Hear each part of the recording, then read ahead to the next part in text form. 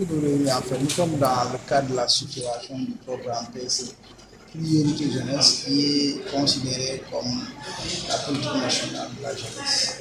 Donc c'est un processus de la C'est pour cela dans le cadre de la méthodologie adoptée par le bureau.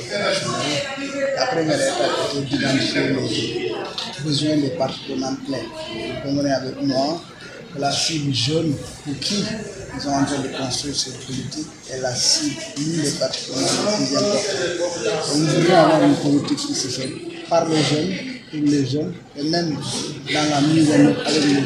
C'est pour cela qu'on a organisé des forats régionaux dans les 14 régions, donc depuis le 10 jusqu'au 14.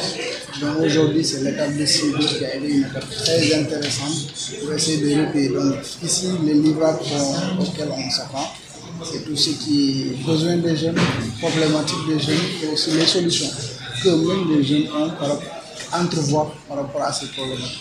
Tous ces éléments vont alimenter c'est de sortir les nouvelles organisations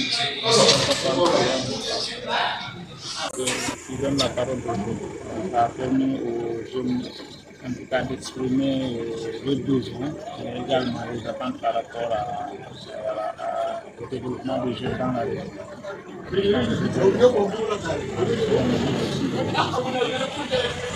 besoins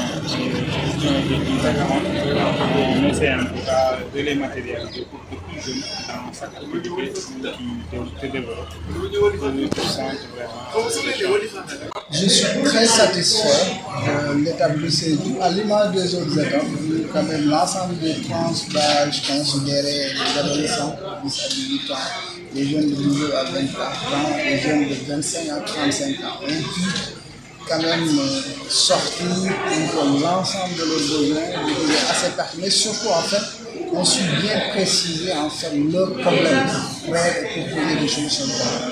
Nous, nous, partons vraiment avec une moisson assez intéressante qui normalement doit alimenter les réflexions au niveau global qui permettent de définir une meilleure politique qui va transcender les orientations et les aspirations.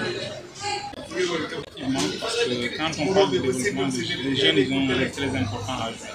Et de ce fait, je pense qu'ils doivent être au cœur du développement. Donc voilà, cela nous se matérialise. Oui, la perspective immédiate, c'est très rapidement finaliser le fora, aller vers les techniques, essayer de, de, mettre en synergie l'ensemble des besoins qui sont issus des 14 régions.